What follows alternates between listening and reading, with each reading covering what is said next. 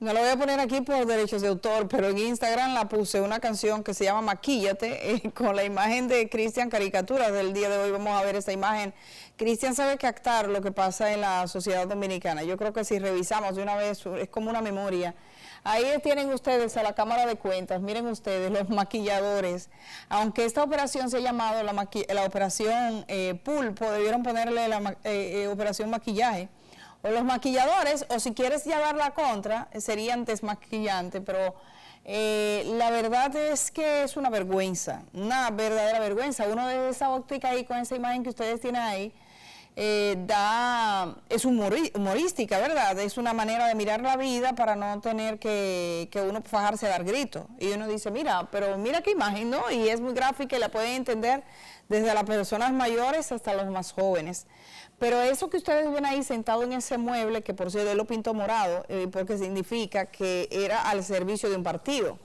Esta Cámara de Cuentas ingresó hace cuatro años, lo cumplió en el mes de febrero y se hizo para servir a una estructura partidaria. Es, eh, obvio que trabajó eh, muy de la mano con las entidades públicas que tenían en, sus, en las pruebas y en, las investigaciones arrojaban que habían irregularidades y ellos la maquillaban. Eso es un crimen. Y le he dicho a la gente que tiene que tomar muy en cuenta la relevancia de esta, de esta situación, dado el papel que desempeña la Cámara de Cuentas, un órgano de control. La Cámara de Cuentas ha quedado mancillada, ha quedado lesionada, ha quedado manchada. El hecho de que haya sido necesario hacer una, un allanamiento autorizado por una juez de la Suprema Corte de Justicia a un órgano de control del país, nos dicen lo mal que andamos. O sea, la Cámara de Cuentas se supone trabaja con mínimo de independencia, de criterio, de profesionalidad. Y mucha gente dice, bueno, que eso es que es un exceso y hay quienes no encuentran motivos, pero la investigación de la Cámara de Cuentas no se conoce todavía.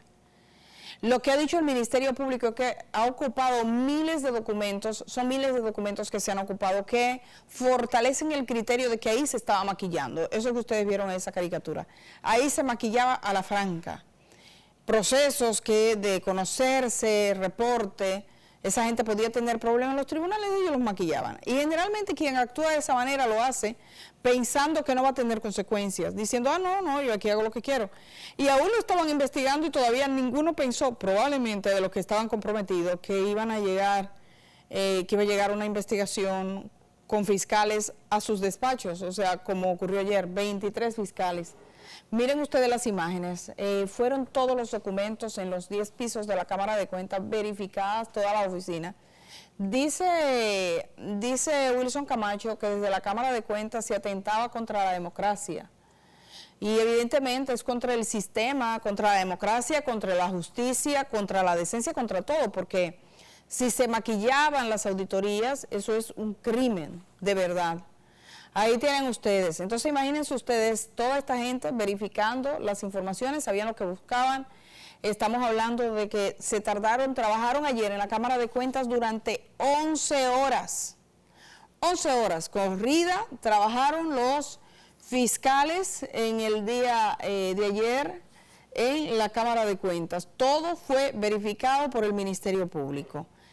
Esa, esa decisión, ese allanamiento está provisto de la orden de un juez y eso funciona de ese modo. Si usted tiene la orden de un juez, el Ministerio Público llega allí donde estén las pruebas, en este caso a ese órgano que ustedes ven ahí. Yo quiero recuperar algo que, que digo que para mí lo, lo más elocuente de lo que ha ocurrido en la Cámara de Cuentas lo ha planteado sus mismas autoridades, Margarita Melenciano y su presidente.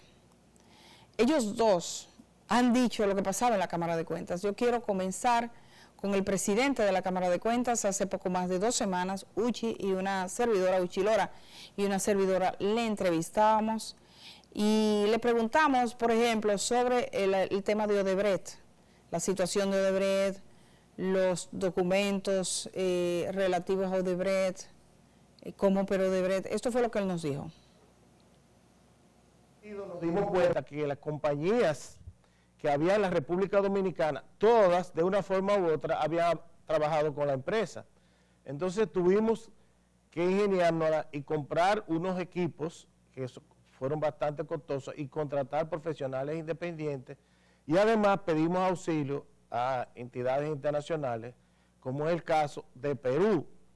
Eh, la Contraloría General de Perú nos prestó una persona que ya había trabajado con las obras de Odebrecht y por eso comenzamos a hacer la auditoría. Eh, naturalmente hubo una serie de dificultades, como un temporal de agua. Una de las auditoras se nos eh, rompió la pierna en la carretera de Casabito y así las cosas. Luego, cuando llegó ya el trabajo de campo, que se comenzó entonces a trabajar la parte ya operativa de la auditoría, porque esos informes se revisan y pasa a un departamento se llama control de calidad, y luego de control de calidad, entonces vuelve a auditoría, auditoría entonces las envía a la dirección jurídica y realmente hubo contradicciones entre la dirección jurídica y la dirección de auditoría. Y eso fue varias veces al pelo y se devolvieron. Y entonces nosotros teníamos informaciones, particularmente yo y algunos de los miembros, que había, realmente había distorsiones y que no se reflejaba en esa auditoría la realidad que encontraron los auditores en el trabajo de campo. Eso llegó al extremo de que varias veces, como le dije, fue al pleno y se rechazaba el informe, se devolvía a la dirección de auditoría, hasta que finalmente ya no pudimos más y tanto la, licenciada Margarita Melenciano Corporán como quien nos habla emitimos un voto disidente por esa razón, porque teníamos informaciones de que muchos de los hallazgos, que fueron muchos, se lo aseguro, no se reflejaron en esa auditoría. Edith Febles, la cosa como es.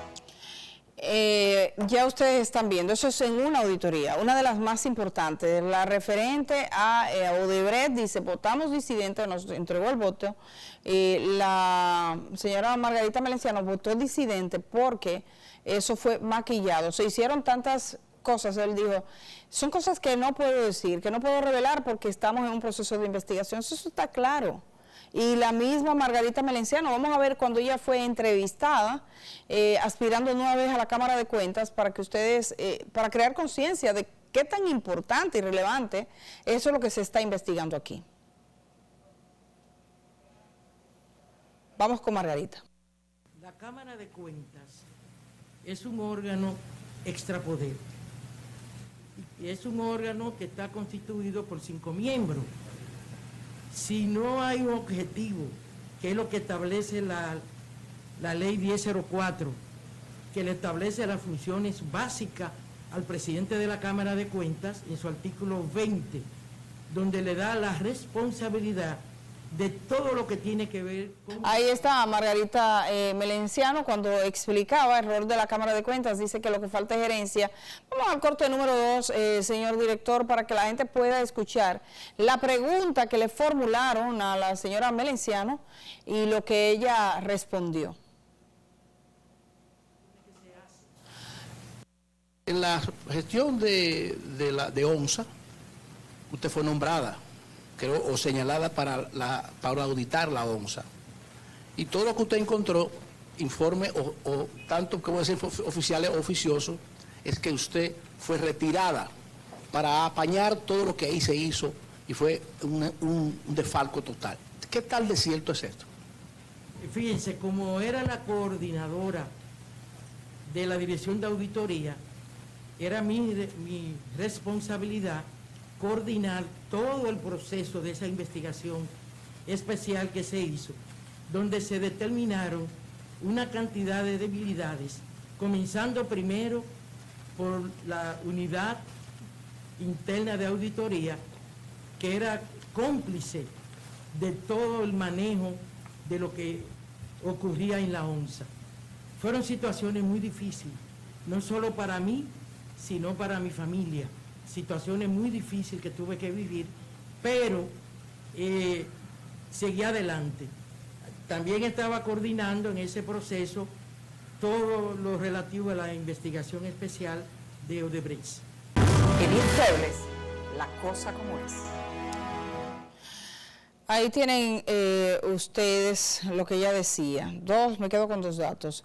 Que los auditores tenían miedo, lo dijo el presidente de la Cámara de Cuentas, que algunos se negaron a firmar, que estaban atemorizados, los auditores, y con lo que ella decía, que vivió situaciones muy difíciles ella y su familia. Demasiados elementos en la Cámara de Cuentas. Ha llegado la hora de rendir cuentas a la Cámara de Cuentos, decíamos nosotros en el año 2008, y miren ustedes en lo que, en vez de mejorar, fue retrocediendo. Voy a ir a una pausa. Cuando regrese, República Dominicana, dos de sus ciudadanos están retenidos en Haití. Lo hizo una banda. Se dice que en Haití todo el mundo sabe quién los tiene, habituados al secuestro. Los secuestros en Haití son frecuentes. De hecho, en los últimos meses se cuentan por miles. Yo voy a conversar con eh, Daisy Toussaint, que es periodista de Telesur y que ha estado cubriendo Haití por mucho tiempo. Ella, de hecho, hace unos meses hacía un reporte especial para la cadena en la que labora, donde ya advertía la eh, frecuencia de los secuestros y los asesinatos de líderes opositores que se estaban registrando en Haití en un estado que al parecer no tiene orden. Regresamos de una vez.